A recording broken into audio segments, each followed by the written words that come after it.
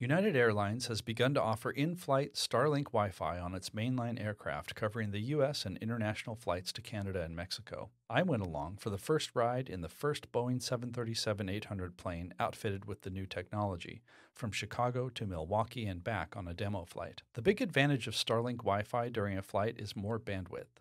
I streamed movies on all of my devices simultaneously, and the whole time never felt like I was using a compromised internet connection. Running speed tests gave me download speeds comparable to home broadband of around 250 megabits per second, even climbing to almost 400 megabits per second. Upload speeds were more modest at around 30 megabits per second. I also started a video call with CNET's Patrick Holland and David Lum, which is technically a no no on flights. In fact, it's illegal. Who wants that video conference guy from the coffee shop blabbing three inches next to them on a plane? But because this was a demo flight for journalists, we were encouraged to test the bandwidth.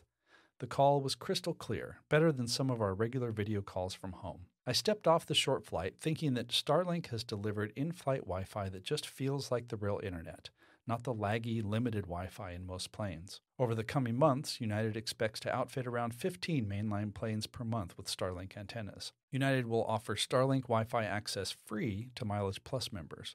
The current standard Wi Fi option costs $8 for Mileage Plus members or $10 for everybody else. Does this make you want to fly United? Check out my full article for more details on cnet.com.